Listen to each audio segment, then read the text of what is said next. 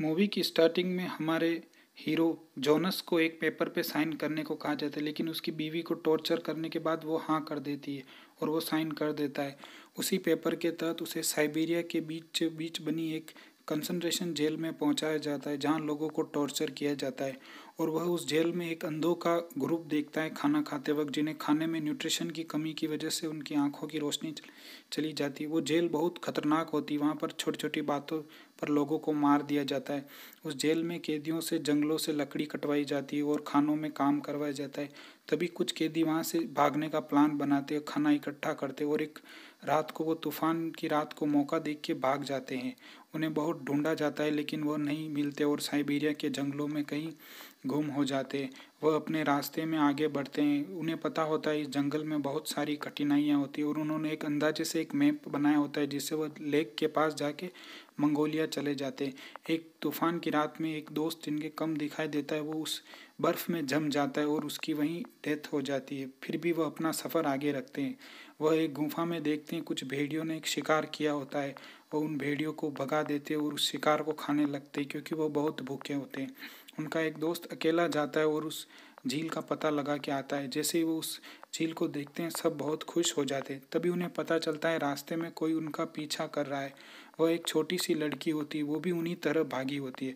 वह झील के किनारे एक हिरण, फंसे हुए हिरण को मार के खा जाते और वह उस लड़की को भी अपने ग्रुप में शामिल कर लेते हैं। और उस झील के किनारे नहाते हैं, कपड़े धोते हैं, क्योंकि वह कई महीनों से नहीं नहाए होते हैं और एक झील के बर्फ़ वाले हिस्से को वो दौड़ के पार करते हैं। वह शहरों से दूर रहते हैं क्योंकि उस शहरों के पास उन्हें पकड़ने का चांस होता है।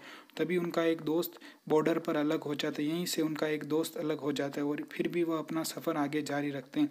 जैसे ही वह मंगोलिया पहुँचते हैं, तब वहाँ देखते हैं कि मंगोलिया भी अब कम्युनिस्ट सरकार के साथ मिल चुका होता है, इसलिए वह उनके लिए खतरनाक हो जाता है और वो तभी दूसरी तरफ़ एक मठ में पहुँचते हैं। वहाँ देखते हैं कि एक हड्डियों मिलती है उन्हें, जिनकी खोपड़ी पर गोलियों के निशान होते हैं। वहाँ भी उन सबको मार दिया गया था और उस मठ को पूरी तरह से तोड़ दिया होता है।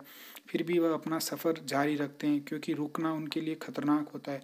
उन्हें उन्हें मंगोल में कुछ लोग मिलते हैं, वह समझते हैं कि ये चोर है, लेकिन वह उनसे कहते हैं कि हम लासा जा रहे हैं, यह एक धार्मिक स्थल होता है। और वह इस बात सुन के उन्हें जाने देते हैं, क्योंकि लासा एक धार्मिक और भगवान में श्रद्धा वाले लोग जाते हैं। वह लड़की उनके साथ एक अच्छी दोस्त बन जाती है और सारे एक तरह से फैमिली होते हैं वह तपते रेगिस्तान में जलते हैं तब, और तभी उन्हें वहाँ एक कुआ मिलता है, वह कई दिनों से प्यासे और बिना नहाए होते हैं वहाँ कुछ दिन रुकते हैं, पानी पीते हैं, नहाते हैं, फिर वह अपना सफ़र आगे जारी रखते हैं। एक बार वह रेगिस्तान में चलते उनकी वह दोस्त लड़की बेहोश हो जाती है, क्योंकि डिहाइड्रेशन की कमी की वजह से उसके पैर सूझ जाते हैं और वहीं पर उसकी डेथ हो जाती इसी तरह से एक और ग्रुप उनसे हट जाता है।